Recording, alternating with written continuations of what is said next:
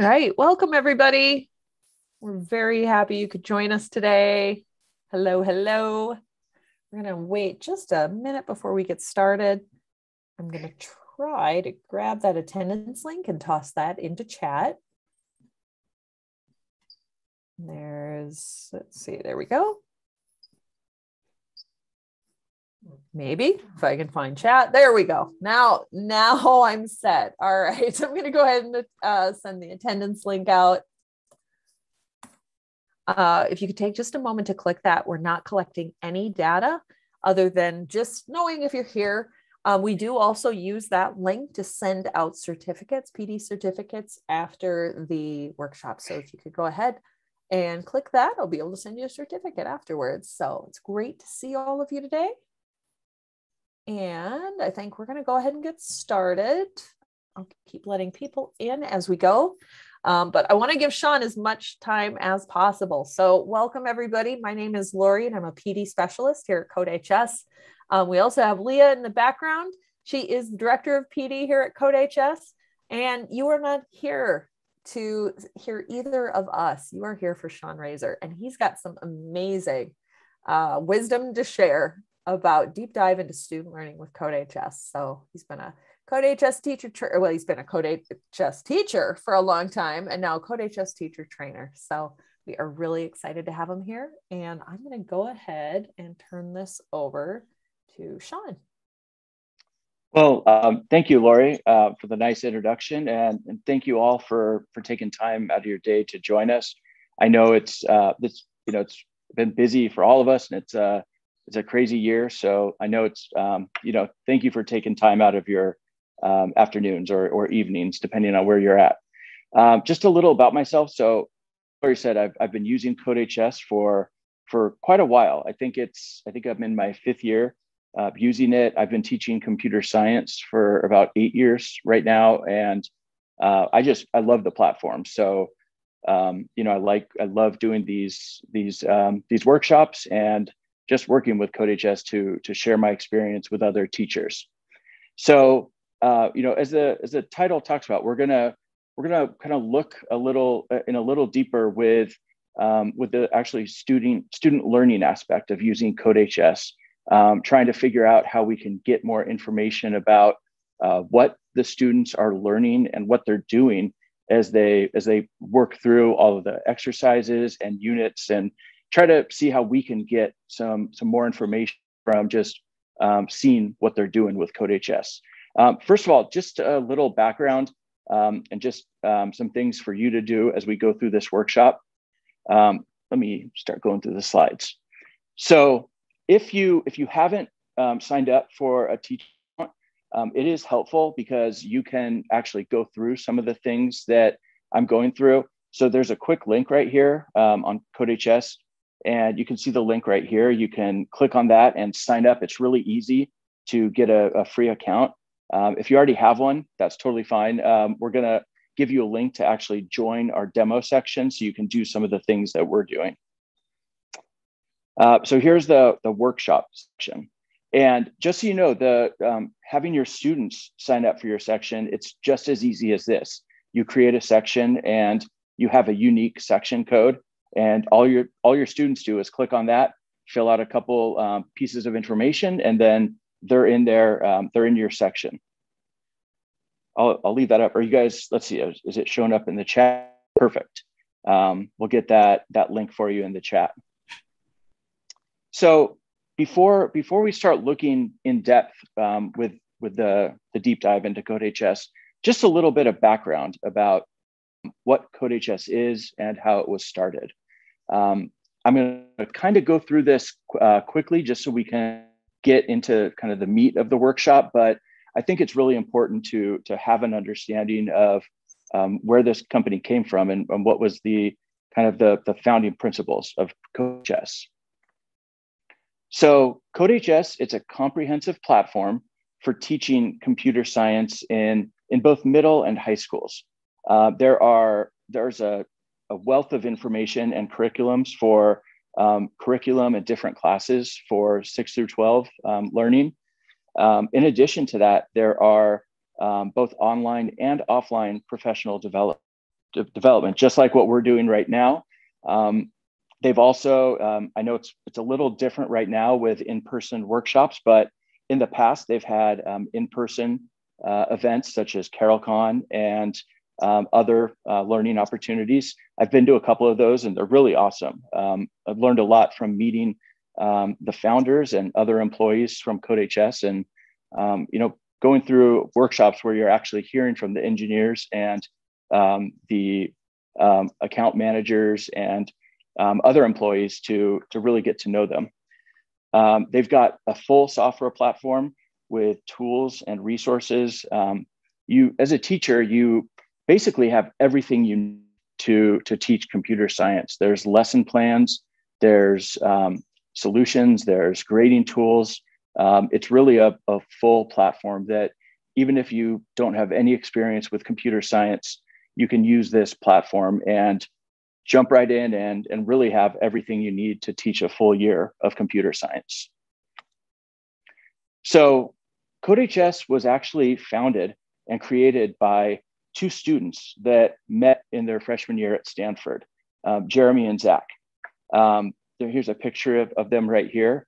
And uh, they were computer science students. And what they what they wanted to do was um, give other students the opportunity to learn computer science um, in high school and middle school. They they kind of thought back to to what it was like when they went to school, and they they thought about the resources that weren't being taught, and they wanted to make a platform that would give students that opportunity that they wish they had. Um, they started CodeHS in their senior year at Stanford, which was 2012 and it's basically been growing and evolving ever since then. Um, you can see here this um, this car, this pink car that they they uh, they they got. I don't know if you know they rented it or owned it, but they they got this paint job and and really started advertising CodeHS. And they did a, a cross country trip where they visited hundreds of classrooms all around the the U. Did two separate road trips, and basically they wanted to promote CodeHS and just make teachers aware of free platform that was out there to start getting computer science taught in schools all around the country. Um, ever since 2012, CodeHS has has been a free platform for teachers to use. Uh, they've been adding every year. They add more um, more topics, more courses to to not just teach computer science, but to grow and have it integrates with different subjects such as math or music or um, cybersecurity, and really almost any topic you can think of, there's a CodeHS course for that. So I love this. This is their mission statement. Um, their mission is to empower all students to meaningfully impact the future. And you know, we we live in a digital world where um, almost everything we do is tied into to computer science. You know, the the computers or the phones or um, tablets, really anything that we use uh, is run by a computer or, or a program. And it's really important that our youth, our students, uh, understand how, how computer science ties into our world. And if, if you're not um, learning about programming and computer science, you're, you're not preparing yourself to be successful uh, in the future. And I love this um, kind of this slogan that they have at the bottom um, read, write, code.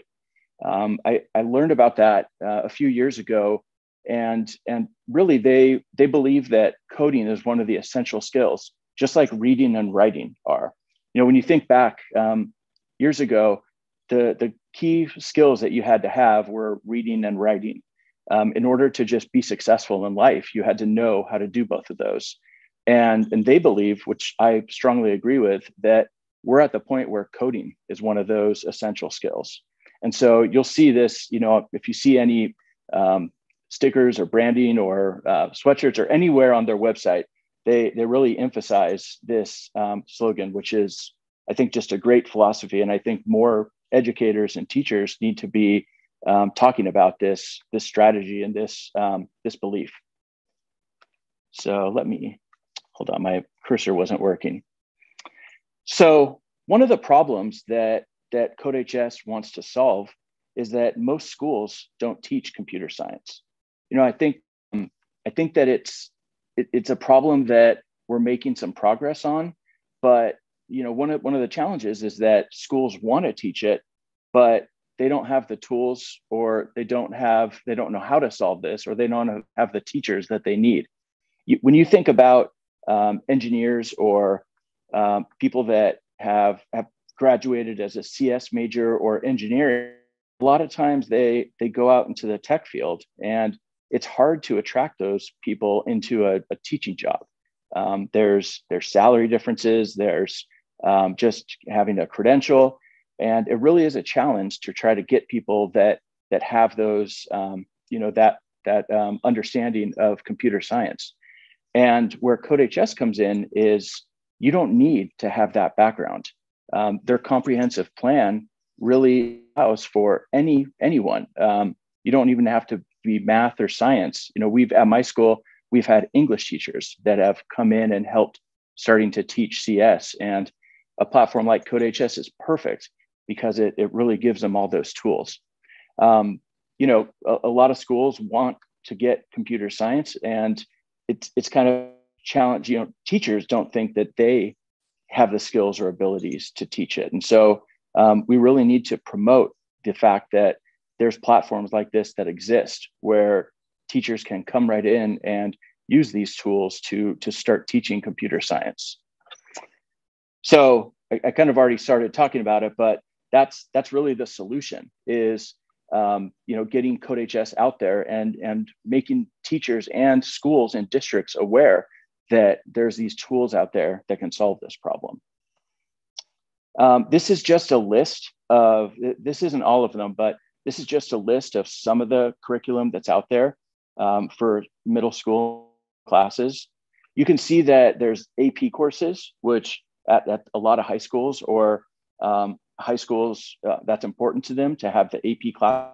I say these are these are two of the more common um, classes. I know at my school and in my district, they they all of them teach this AP class, but there's also um, intro classes. Um, a lot of middle schools want to have an intro class where um, students don't have to have any coding background to um, to take their class, and so you've got intro CS in Java and Python.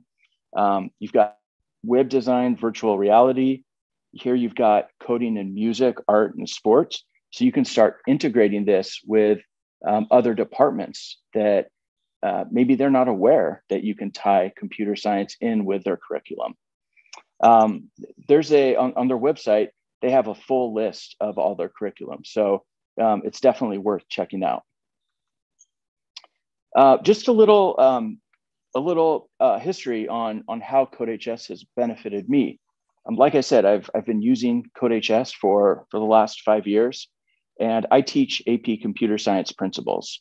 So at the end of the year, um, most of my students take the AP, and you know, preparing them for the AP exam is is a really a, a huge goal of of what I'm supposed to be doing and what I'm trying to do with my course.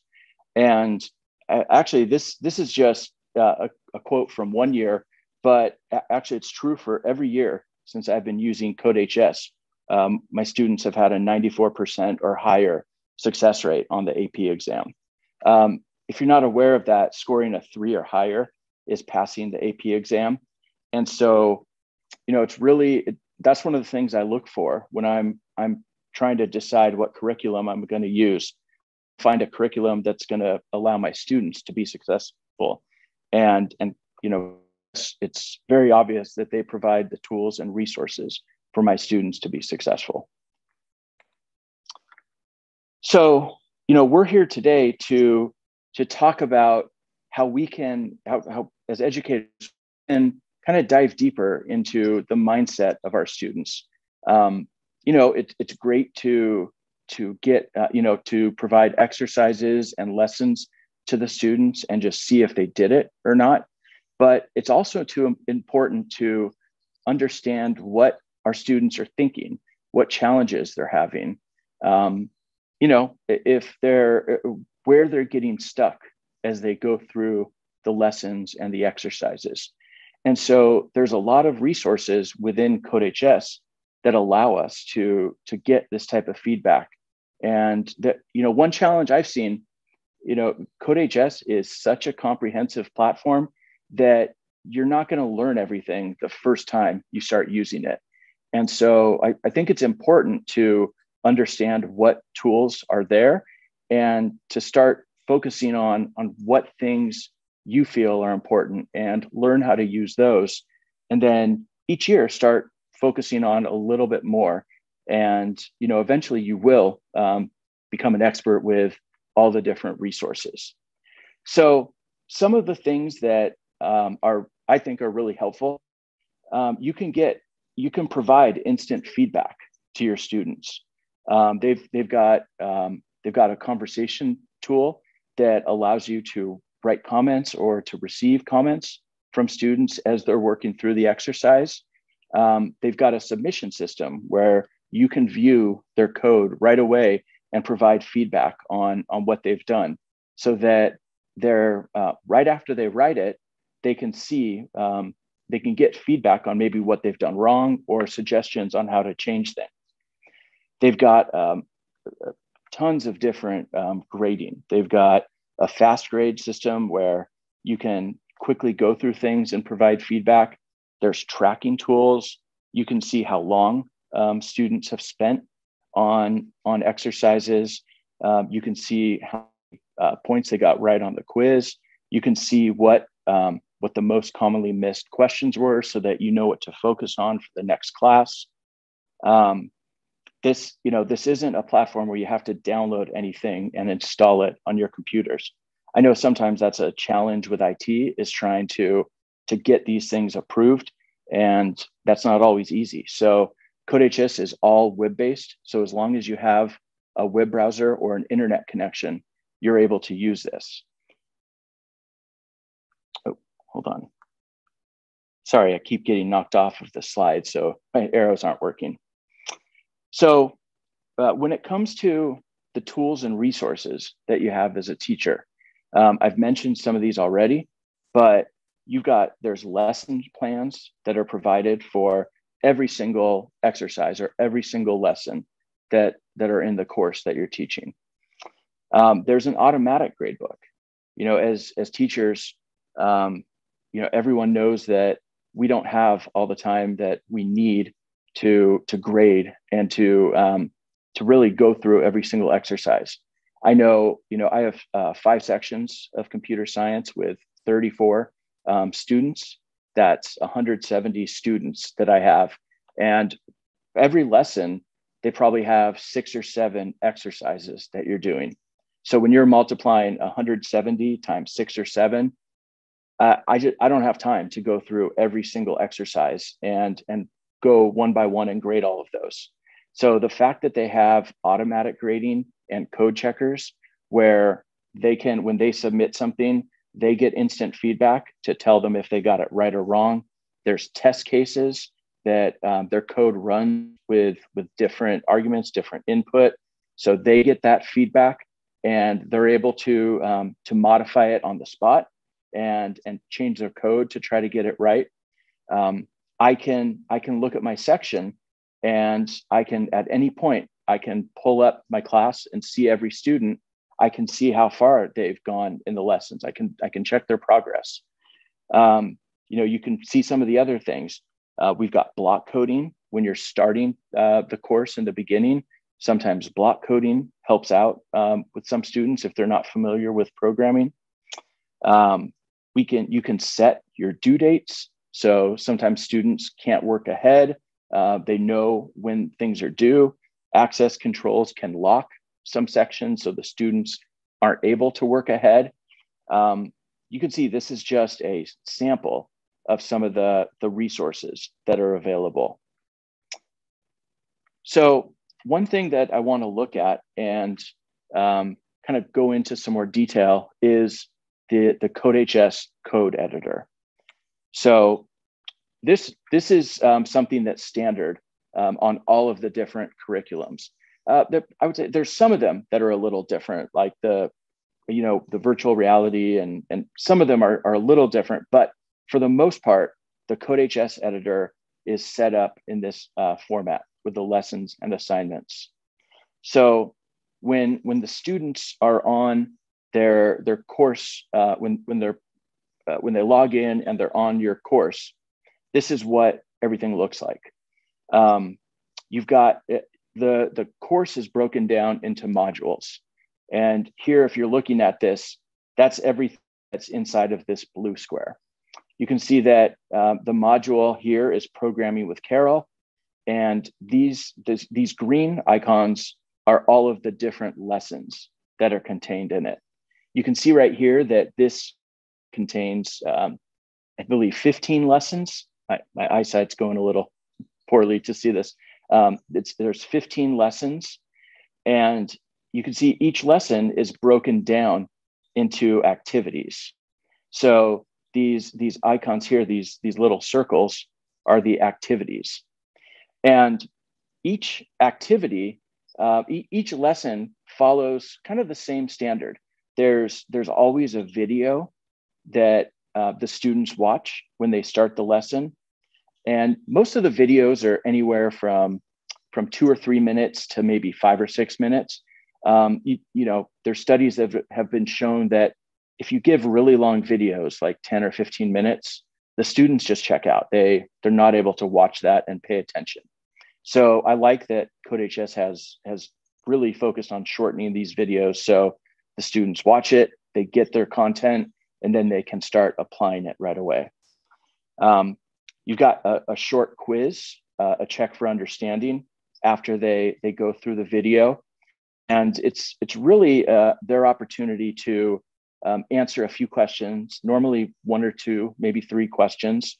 Uh, and the way the way that I I go through that with my students is um, I don't I don't grade them on the quiz. I don't give them points either. I don't take points away if they miss questions. Um, but I tell them that if you're missing questions, it means that you haven't re- retained the content from the video.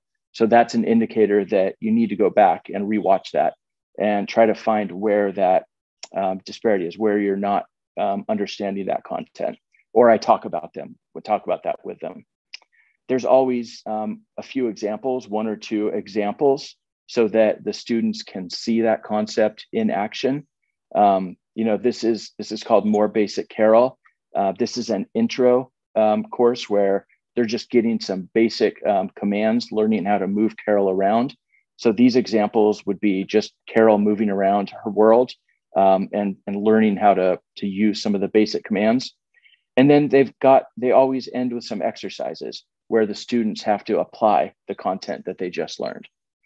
And so again, every every lesson is set up this way. There's always, you know, there's there's some discrepancies. Sometimes there's uh, debugging activity or a reflection where they have to um, respond to some questions, but it, it's always very similar. And I like that. They get used to it. Um, they're they're comfortable going through it. Um, they know to look at the examples and not just skip through it. So it's I think having that consistency is really helpful. Um, here you can see this, this shows you the module in, in a little greater detail. Um, you can see, you know, almost every lesson is set up the same way. Some of them have, have some more exercises than others.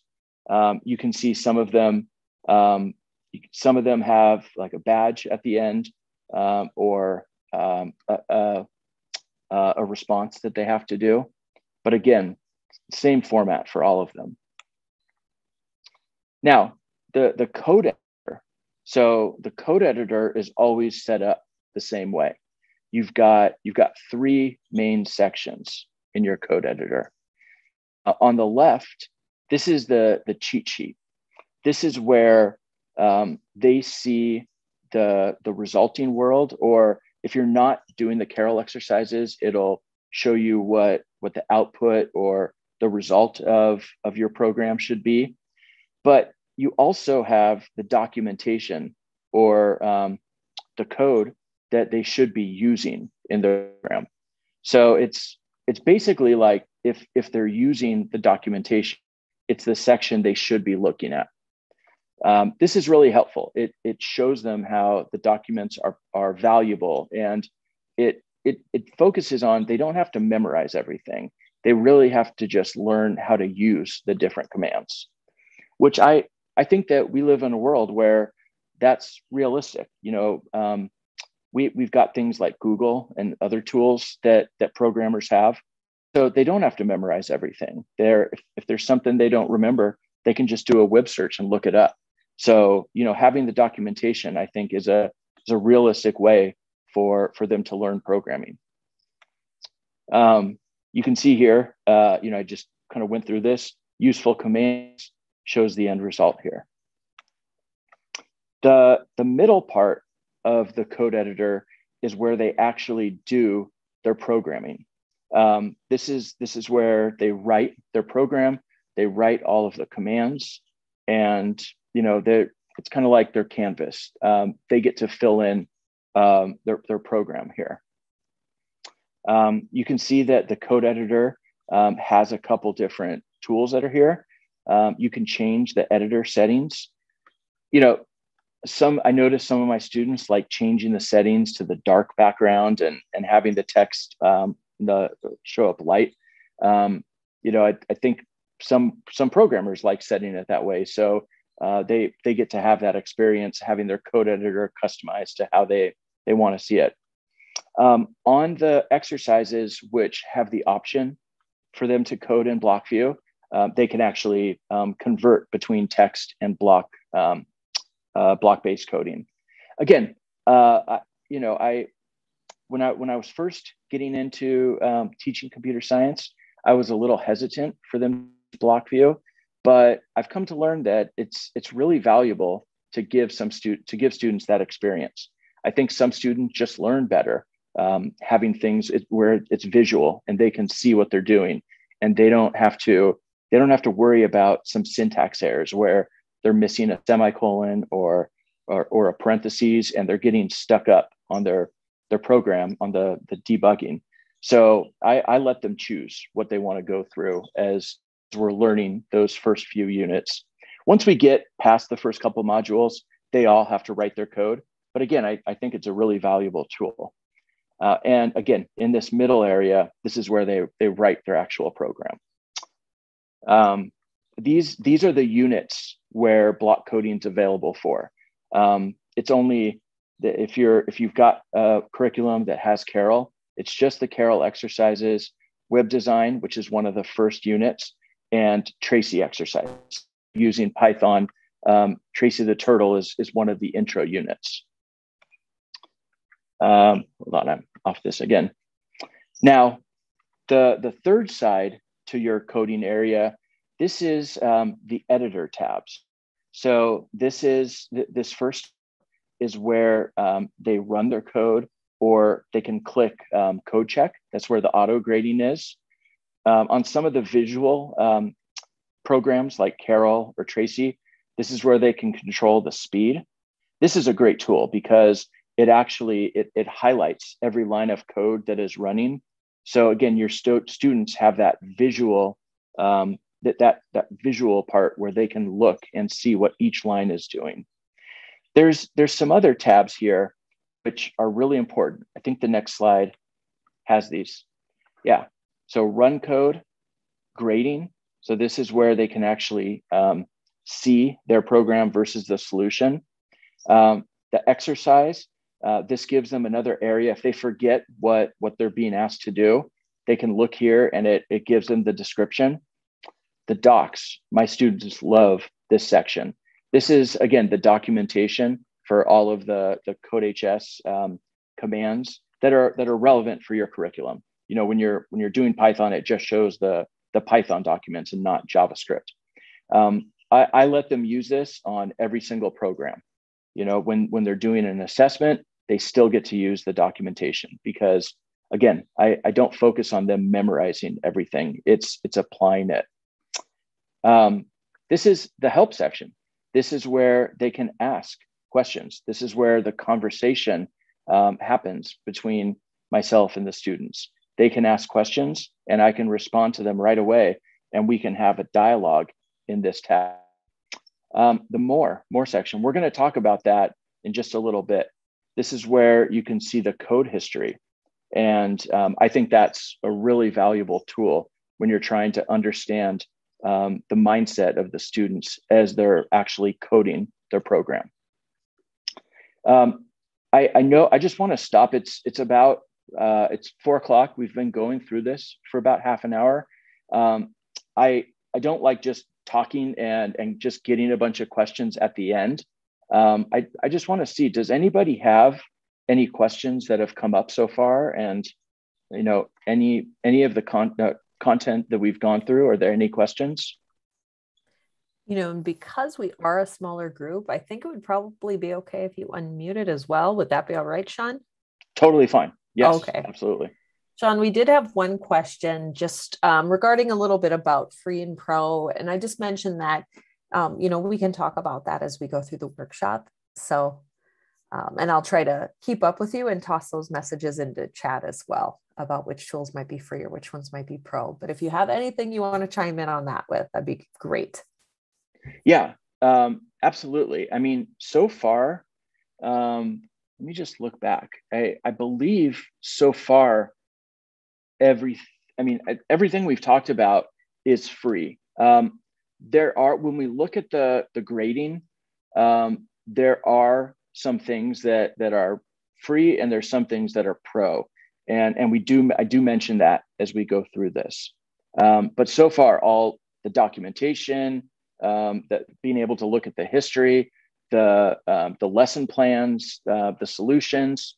If i go back to this slide um, almost uh, most of this stuff is free there's again some of the stuff like um, the uh, fast code um, a couple other tools um, are part of the pro.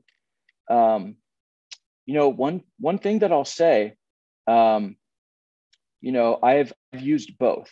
Um, I have had a few. I've had a few years where I had pro access, and I've I've also more recently um, once once my school has you know as all of our schools had been been dealing with COVID, um, they've they haven't been as as flexible with with purchasing and money. Um, so I've been using the free section for the last two years. I there are some of the tools I miss. If if I had the choice uh, and I had uh, money, um, I would definitely go for the pro version. Um, but there's you, you can definitely get by on the free section. All everything that I need is there to get by. So um, again, on, if I can just add one quick note to that. Yeah. Um, I was a free teacher the entire time I used CodeHS in the classroom from 2014 yeah. to 2019. And you can absolutely grade, you can handle everything on free. Would I have loved to have had some pro tools? You bet. but yeah. you could absolutely do it on free. So yeah, I you know, again, uh, I, I've used both and I, I totally agree, but um, not having the the pro, I haven't even considered looking at other platforms because I I just love this. I, I love all the content that's here, and you know wouldn't switch it just because I don't have pro. Um, are there any other questions? Hi, Sean. My name is Maribel from Puerto Rico. Yeah. Um, the lessons can be hidden so that students don't see um, them while they are working on the previous lessons? Yeah, um, you mean like like the lessons, like move, like uh, lessons up in front, like stuff that we haven't done yet? Yeah. Yes, that that is possible to do. Um, I believe uh, I believe that might be a pro tool. Um, is that right, Lori? Yes. So access yeah. controls um, are a pro tool. I will say there are a few, um, maybe some things you can do to get to work with that. But yeah, the actual access controls are a pro tool. So yeah, I mean, to, to be honest, when when I was using Pro, I I did use the the access tools. I I blocked because I, I I didn't want students just going ahead, but I, I thought that was great that they wanted to go ahead. So what I've what I've done this year is uh, you know, my, my students, I think everywhere, they're so they're so obsessed with points, right? They're so obsessed with their grades, and I, I've just told them, I say, you know, it's it's so important to stay on track and and just not go ahead and and then you're out of line with all of our our content that if if you keep if you go ahead i'm just going to knock points off. And and instead i show them other things they can do. Them other things like uh, you know other other there's practice problems there's there's other sites uh, CodeHS has practice problems that they can do. Um, and just other things like there's there's free sites out there that have challenge problems. And so they get by with that and it still allows them to work on programming while not going ahead in our curriculum which you know which throws things off. So i think that's a great question because that that does come up. Um, so i'll here i'll go ahead to some of the the other teacher tools that we have.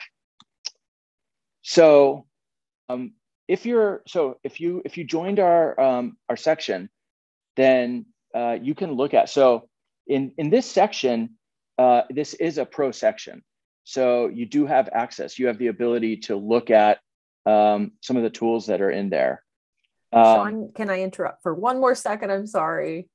Yeah. Um, so yeah, if you have not enrolled in Sean's uh, section, um, I can certainly drop that link back into chat. But if you have, I did create this demo section for you. So you'd be able to see something similar to what you're seeing on Sean's screen. And that is a section where you can actually try out the Pro Tools.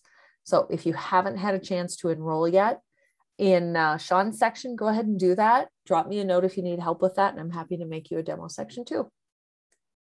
Yeah, uh, it's, it's a great way to see some of the different features. Again, I'm going to go through them um, but you can actually um, see some of the things we're going through. So this is, you know, we I've talked about the conversations um, a little bit. Um, if you're if you're in uh, an exercise, this is under uh, the More tab. Um, so I'm gonna I'm gonna just switch a tab real quick um, to just show you where this is. I have this is just an exercise uh, in a demo section that we were looking at. And if you go, again, it's, it's under the More tab, and you can see these are, these are other tools that are available. And if you click on conversation, um, what you can do is you can just type your message right here and you can send the message. And your teacher or, or student who are, you know if the students are sending it or if you're sending it to the students you start this back and forth dialogue. And this is again this is a great way to understand the problems that the students are having.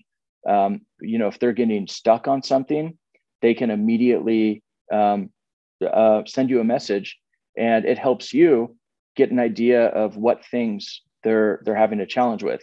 If you know if you're working on a, a problem that works with functions or parameters with functions and you start you start getting a, a large number of of, uh, of messages that are all relating to the same topics well that that gives me an idea that next class i need to go back and uh, reteach that part because there may be five or six students that are sending sending me that message but I, I know that there's a lot of other students that just didn't do that. They're that maybe the the quieter students that are not reaching out. So you know that's that's one thing I use to to just gauge, uh, get like a temperature check of the of the students. Um, so this is this is another way um, when you're looking at uh, your kind of your roster. So if we look in here, let me just, I'm going to see if, if anyone joined. This is, so this is our, uh, this, this is what you see when you look at your class roster. And what you can actually do, let me just move my tab. Um, you can see right here, this, this um, uh, kind of like the dialogue or the, the text bubble. Um, you're able to see right when you look at the class, you can see um, who sent you a message and you can click on that and respond right away. So this is something I do uh, quite often. I, you know, again, I've got 34 students uh, in each class. I just look at, uh, you know, I just go in here when I when I look at my sections. You know, I've got five classes here. I just go through each one, and anywhere I see this highlighted conversation, I know that I have to go in there and check the message and respond to them. So this is again, this is a great way to uh, to have a conversation, and this is a free feature. This isn't something that you have to have Pro for. So um, you know, again, great way to to have that dialogue with the students, and you don't you don't have to be in class to do this. You know, I tell my students, you can if you're getting stuck on something, send me a message. I, I know we don't have a lot of time outside of class, but it takes just you know a couple minutes to go through this outside of class or you know i have a younger child he goes to bed um, i just quickly go through codehs see if anyone's had questions and you know i'm able to get back to them um, i think that i think just that um, you know taking that time to respond to their questions it also um, it, it builds rapport with the students and it makes them um, feel a little better that they feel heard. They they feel like they're not just struggling through their exercises and coming into class the next day totally lost with what they were working on. They're getting responses and they're able to to modify it and and actually get a better understanding of what they were doing um, before they come in. Uh, you know in addition to just the the individual conversations you can send class announcement class announcements um, this is another thing that that I use. Um, you know, I go back to that example I was saying about um, having you know getting multiple messages related to the same topic. Um, if if I see that that's happening, I'll make an announcement. You know, if there's if there's something that the students aren't understanding, I'll I'll make an announcement where uh, I just remind them of something, or you know, I give them a little hint, and just you know, again, it's it's like a little tip. It's it's kind of like in class where you know you get everyone's attention and just remind them of something. You're able to do this uh, outside of class or give them uh, a little tip as as they're working on their homework outside of class. So that's another great way to to communicate with the students. Um, again, without without uh, needing to be there in class. So progress. This is a another progress monitoring, um, this this is a great tool to to actually understand how and when the students are working on their assignments. So you've got so let me go uh, let me go back to this workshop uh, or this this section that we had. Um, this is so up here so when you're looking at your, your class overview, there's a tab here that says progress. And you've got multiple ways to look at the progress of, of what your students are working on. And each one shows you um, slightly different information. And I'm going to go through some of those right now. So you can see um, you can see one so this is assignment progress. So you can see it, so it pulls up um, the lessons and, and then each of the activities that have been assigned. So this, this is actually the whole module and you can see each lesson in here are that and each activity. And you see um, for each activity, you have a, a, a color coded um, bubble by, by each student. And you have a key up here that you can see. But basically, what this means is so if if you've got a gray bubble, that means that the student has not um, even opened. They haven't even clicked on that assignment. If you have a yellow one, that means that the student has opened it, but they they haven't completed it.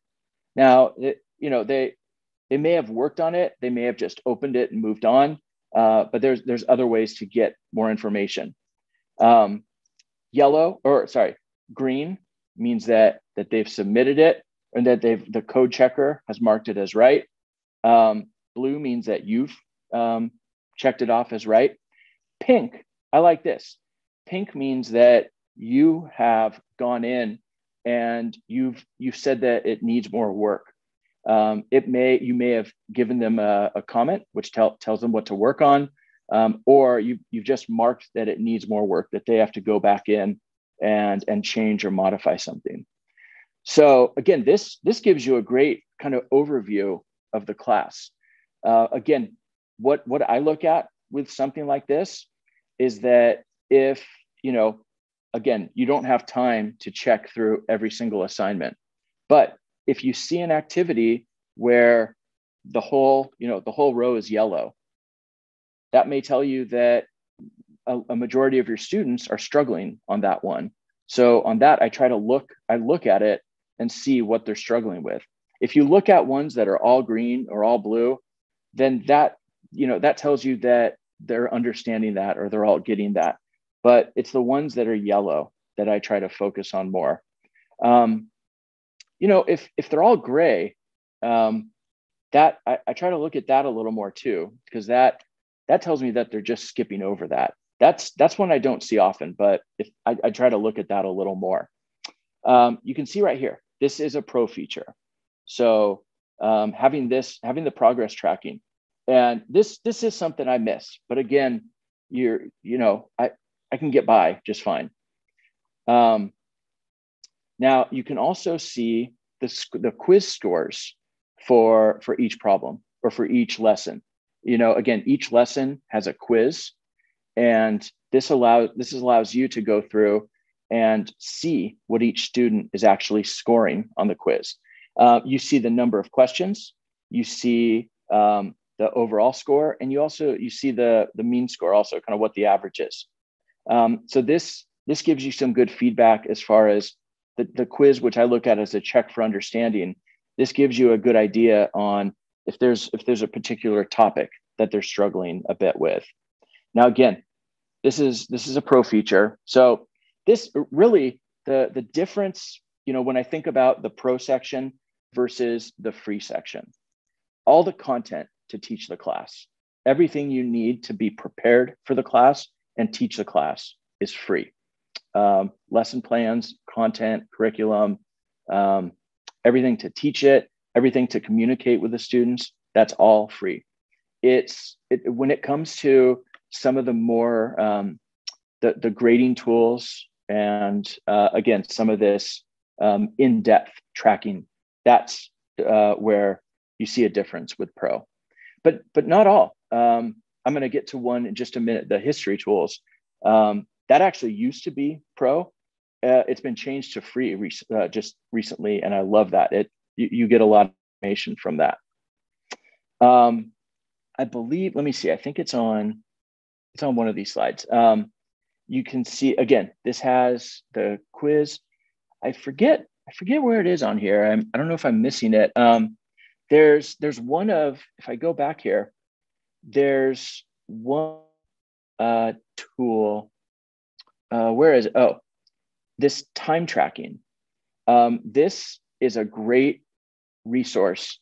Um, you, you can see right here, there we haven't because we don't have a, a, full list and we haven't had assignments we don't have much in here but this time tracking if you're if you're trying to look at um, maybe did the students uh, work on it you know and unfortunately when it comes to um, you know sharing code or, or or students cheating on on tests or exercises that is something that that you have to deal with um, this allows you to look at every exercise or every um, activity in your lessons, and you can see how long they spent working on each activity.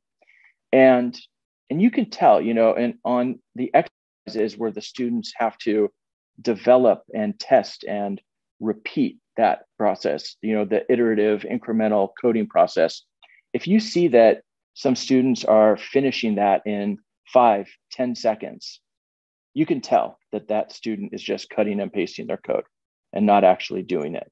So this is this is a great tool to to just help make sure that the students are actually doing their work. And if you see that they're not, that that's a conversation that you want to have with them. And again, you want to, you know, you don't just want to punish them and and you know you you want them to grow from this. And and that hey you you do have this ability to manage and see what they're doing it it helps minimize chance of something like this happening again and and you can get those students that may be struggling to to really turn it around and ask for help or um, put in more of an effort because they know that you know they're likely to get caught again if they do that um, so you can see just when it comes to the the progress tracking there's really a wealth of information that you can use or see um, you know i mentioned the history um, there's there's a few different tools um, that are, are related to this. Um, one of this is uh, attendance. And I'll tell you, this was really helpful um, during the remote learning.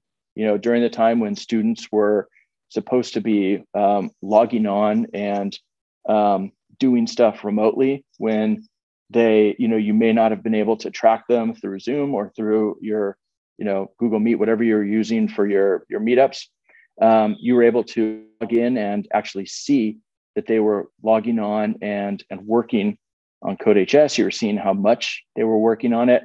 Again, this is a pro feature, but it it does show that you can see um, how long they're spending working on this. Um, you know, this, this this same thing. This is getting into the the time tracking. You see how much they're spending. I think that was I, I forgot. This was the time tracking that I was talking about up here. Um, this is this is another tool. This this the student history. This is what I was talking about. Um, I want to go back and show you an example from a, a problem that that was really written that that I wrote um, as a test section. So if you go up into more and look at the history, um, CodeHS. So uh, a timestamp is created every time the students save or run their code. That version is saved to the history. Um, they also CodeHS also auto saves this. If if the students just have this open and they're not running it or saving it, CodeHS automatically saves that version. There's some real value to this. If if the student accidentally delete their code and save it, um, they never lose their code because they can always just go back and and you know click on this and they have their code here but this is also a great tool uh, as a teacher. I can go back in and see how you know i can see their whole uh, process and i can see what they've been doing and, and walking through their mindset as they're programming. You know i can see what they're doing at first. I can see that you know they created a function they're they're now all of these commands and then they're they're writing in the rest of their code calling this function then creating another function. And i can see what their process is. I can see if they're implementing the tools that we've learned. I can see if they're not. I can see if they're just writing out all, all the commands and then going back and putting those into functions which is not not what they should be doing. You know they should be doing, you know, they should be breaking the program down into smaller problems, solving each of those, and then implementing those. So you, you get a chance to, to see how they're solving them. If they're if they're not applying top-down design, which we learn about, you can have a conversation with them and um, see why they're not doing it and see if you have to go back and review that with them. Um, again, it's it's also a helpful tool when it comes to seeing if a student just copy and pasted their work. You know, you can see it right as it goes in. Um, you know, so I see a I see a benefit with with three different ways. The students never lose their code. Um, the teacher, you can see their progress, so you know um, their mindset. And again, you can also make sure that they're they're developing their own code and not just getting it from somewhere. Um, again, this is this is a free tool. Um, in, in, the past, it was pro but now it's a free tool, um, which I really think is awesome. Um, again, some of the we only have a, a, little bit more. I know I know it's we're coming up on an hour, so I want to be respectful of your time, but I've also I've got plenty of time to ask questions too. So um, I'm just going to go through the last few slides here. Um, with so with help mode, so this is this is a way where you've got when you when you go into your class you actually see uh, a whole kind of queue or a list of the questions that have been asked, and you can you can respond to all of them. Um, it's just another way to see the questions and and start having the conversations um, so that you know if you miss a question uh, with a conversation you've also got a way where you can just go through it's it's called review uh, when you're in your section um, again you you have not just do you have a queue of questions but you've got a queue of assignments that have been submitted that you can go through and and grade. Um, there's ways that you can um, you can filter it. So you just look at certain um, exercises. Again it can sometimes be overwhelming when you have thousands of of submissions but you can decide which ones to look at and which ones you want auto grade to to look at. Um, so this is um, this is another place where you can go through and you can this is where you can um, mark them as you go through each assignment.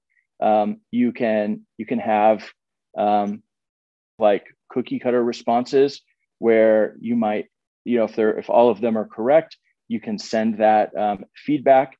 Um, you can again you can mark it as finalized. If there's something that that they, they did wrong, this is where you get that that pink bubble that shows up. Um, this is a free feature. So if you don't have Pro, have access to this as well. Um, fast grade. This this is a, a really cool feature. Um, this this is one of those that uh, I do. I use this a lot when I had the the Pro um, setup. Um, this so what this is is you can you can uh, click on an exercise and you have the solution code uh, right here on the right. And then you can you can click through every student in your section and you see their code here. And again you can you can leave a comment. You can mark it as completed or needs work. And instead of having to let manually go through each student in your section you just mark it and then the next student pops up there's even keyboard commands that that you can learn. And it once you learn that you can really zip through a class really fast. Um, this this is a pro feature and um, it's a it's a really a great one. If you have the opportunity to get the pro the pro tools i think this alone is is worth it to to get it. Um, it really cuts down on on the time. Um, the gradebook. You know we've talked a lot about um, progress check, checking and and the tracking. Um, this is another way to um, to help if you just if you just want to look at um, what they've done. Um, each assignment in CodeHS has a default number of points that are set with it but you can actually change those if you want you know if you have a, a specific amount you want for each section you can just align this with your grade book and um, and, and really not have to um, you know transfer you know write down your own grade book you can just use this and translate this to your grade book again pro feature here. Um, just like some of the others you can see that there's really um, a lot of great tracking and grading tools that are involved. You can see here in the in the settings you can select which ones are auto graded this is where you would select the auto graded versus the ones that you would change manually. You see that each, this is each module and lesson inside of that.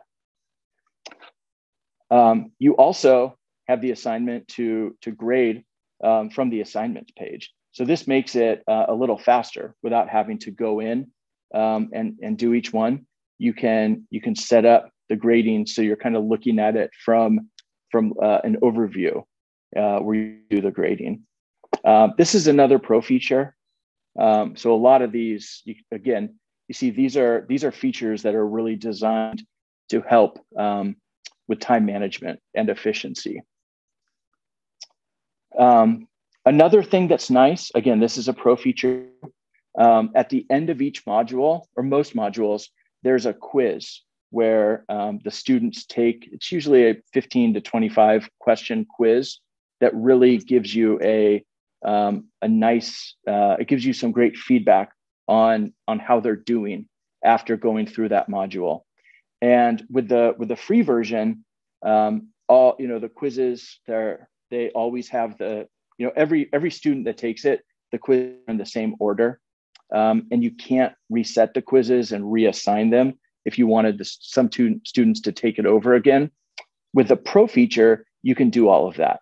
Um, the quizzes are still there in the free feature, but once they take them once, um, that's you know they're they're done. You can't um, you you can't shuffle the quiz questions, uh, but they're still again they're still there. Um, you know with these with the pro feature, you can shuffle the questions, um, you can reset them so the students take it again, um, and um, really this you know we've we've now kind of hit on all of the tools. Um, you see a lot of these a lot of these that we talked about um, really just give you a lot of information on on what the students go through and um, really kind of give you the mindset as they go through this. Um, a, a, couple more resources that uh, give you a chance to, to kind of dig deeper just with CodeHS and um, sharing with other teachers uh, that, that use CodeHS. You can, so first of all, you can become a CodeHS certified educator. This is great because uh, you once you do this, you become part of a network of certified educators, and there's um, there there's meetups, there's um, there's there's ways to share best practices and um, get involved and and just have have PDs that's uh, that's solely for certified educators. There's a Facebook group where there's some great conversations that go on. Um, free workshops, or you can either lead them or attend them where you get great information. And CodeHS is also on social media. So I highly recommend checking these out and seeing if it's a, a possibility for you. And that's really it. Um, you know, I, I really appreciate um, you taking time out of your day to attend. Um, if you if you have time, it's, it's this gives us a lot of great feedback. Um, uh, Lori and Leah do a great job of, of organizing these and really um, helping run these programs. And so this this survey gives us uh, and them great feedback just for helping plan these in the future and um, making them really valuable to you. So we're not wasting your time. You're you're getting things that uh, really uh, you can apply and are helpful to you. So um, thank you again um, for joining, and uh, hopefully hopefully we'll see you at another one. And Sean, I just have to say that it, first of all, thank you. Um, of course, very nice. But I have to say we couldn't do it without you and our other amazing teacher trainers. So um, I always say that I think uh, I think those of us who work at CodeHS always see ourselves as teachers first because we were all teachers. But you know, it's it, we we're not as close to the classroom anymore. Every every little bit that we work at CodeHS, we get further from that actual teaching experience in the classroom, and so we rely on our teacher trainers to uh, really, you know, talk that language and and connect with our with our teachers. And honestly, it kind of puts us right back there. So we love working with teachers. Um, Sean, that was really great. Does anybody have any questions? Sean, I am going to mention also there was one question, and Michelle did have to go, but I thought yeah. maybe if we could just touch on it super quick. Um, sure. Michelle was asking in chat, what about resources for reteaching a concept? Do you have any thoughts on that? Um, for so I, I've been just, kind of mulling that. At, Sure. I've been mulling that over a little bit if you want to think about it. And I could certainly chime in a little bit too. Um, you know, one well, of my oh go ahead, Sean. Oh, no, no, no, no, go for it. Go for it. I'm just I'm looking for the question uh in oh, the chat. Sure. Go ahead. It's, yeah. It's back a little ways. So Michelle okay. asked it maybe 15 minutes ago or so. Okay. Um, yeah, go ahead. I would say while Sean's looking back at that and giving that a little thought, um, you know, you can certainly, I think CodeHS is is great for for that reteaching uh, component as well with the feedback pieces and uh, you know communication and just there's so many ways to build in um, kind of that formative assessment piece as well where you can really check in with your students as you go through the material and see you know where where is that learning happening or where are we missing that learning? So you know it's easy to stop and kind of do those in the moment kind of teaching situations. But you know there's also a ton of resources whether you are on free or pro and you can certainly customize your course on either plan um, you can bring in additional content from the course uh, from the course catalog. You can bring in supplemental material if you feel like wow i need to scaffold this a little bit differently or give somebody else something a little different. You can also add some customizations yourself and that is whether you are free or pro. You can if you've got um, maybe some resources that you used in a different class or something that you just you know as teachers we all have our own toolbox of resources. So maybe there's something that you've used that is um, that works especially well with a different learning style or with somebody who might need something approached from a different angle you can mm. typically build that into the course and so that's what i was thinking of and sean i don't know if there's something else you want to add to that yeah, no, uh, you know, I think it, um, depending on on what it is, uh, mm-hmm. you know, I, I think it's different. If if it's a if it's a specific topic in programming, like if it's if it's lists or if it's if it's loops, you know, I I, I use the practice problems a lot that that you guys have. I usually don't. Um, that's not something that I require, um, but I, I will go into those um, if I find that either it's an individual student or if it's a if it's a topic that that needs a little more focus. Um, I also do, like you said, customizing the courses. Some of there there's some of the topics like like data structures is is one that I feel like it's it's a really important topic, but I feel like we kind of go through it quickly. And so that's when I bring that over from the Python course um, and it gives us a whole new section. Um, strings, that's not in the CSP. I bring that over from the Python course because I think those are just really valuable tools to have.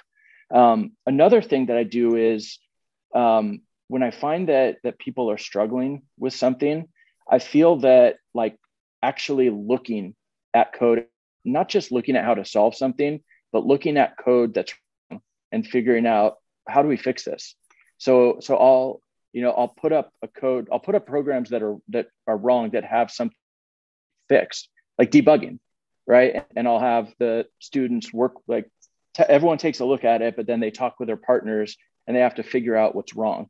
And it just it gives them a different approach because they're not they're not just focused on how do I solve this problem, but okay, here's a code that is kind of right. How do we how do we fix it? you know so it's it's just different ways i think of looking at the problems and again depending on what topic it is um, there's also you know there are other sites that again they're it's not necessary it's not really that they don't provide the content but they're sites that just give extra practice problems because i think those that's a great way to just reinforce you know more practice that you get it's sites just just like the practice problems you guys provide um, it's just other resources like that to give more um, practice with it. For sure. So yeah, I think that would that would kind of I'm be my answer to that. Really glad you brought up practice problems. I don't know why that yeah. left my head. but no, those are awesome. I mean, yeah. they're they're they're sorted by topic, you know. Mm-hmm. So depending on what the you know where the reteaching needs to, they're sorted by topic and then by level too, because Mm-hmm. There's there's level one, level two, and they they get progressively harder. And along those same lines, there's a problem bank as well. That's yeah. you know educator created basically, so teachers can submit those exercises and problems and it's another really great place to go and maybe you just right. need something different for the day and you for sure something out of there there's some really cool projects yeah. in those so there are yeah all right do we have any questions at all? Yeah, any other ones?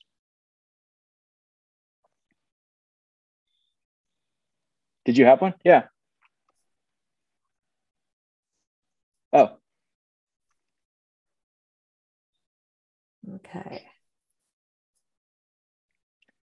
I don't know. I see you, Maribel. Are you? Do you have a question or? Yeah. And oh, no, no, question. Okay. Okay. okay. I wasn't sure. I wasn't sure. I was. Yeah. I didn't want to cut you off just in case. So. well, thanks. Yeah. Thank you for coming. This is great. We really appreciate it. Yeah. Thank we know, we know that your days are packed and uh, we heard from a lot of teachers and what we know is that our hearts are with you because this has been quite a year after the year that we all came off of. So um, you know hopefully um, hopefully everything's been going well for you. That's our biggest hope. And uh, you know we just appreciate that you take the time to hang out with us for an hour and and we love this. So thank you for being here. Um, i will definitely send out the recording and the slides tomorrow uh, as soon as i get that video processed and ready to go it's coming out to all of you um, definitely take a look at that page codehs.com slash free pd i'll go ahead and toss that into chat i'll send that in the email too Oop, i can't type Okay, there. I think that's will totally get you to the page. so codehs.com slash free PD. We have additional workshops that are posted right now. Um, we actually do have another teacher trainer workshop coming up tomorrow uh, from Joe Thompson, who's going to be talking about starting a certification culture at your school. I'm pretty excited about that because I was also a CTE teacher. Um, so very excited to hear that. And then in a couple of weeks, on the 17th, uh, we have another teacher trainer who will be talking to us about um, doing some customization in CodeHS. And I'm pretty excited for Portia Morell's uh, session as well. And so just keep in mind that customization feature is for free in pro teachers. Anybody can do it. So, all right, Sean, this was awesome. We'll go ahead and no, thank you. this up for tonight. And again, thank you. Thank you for coming yeah, thank you. Have a great evening and have a great rest of the week. Thanks. All right. One second.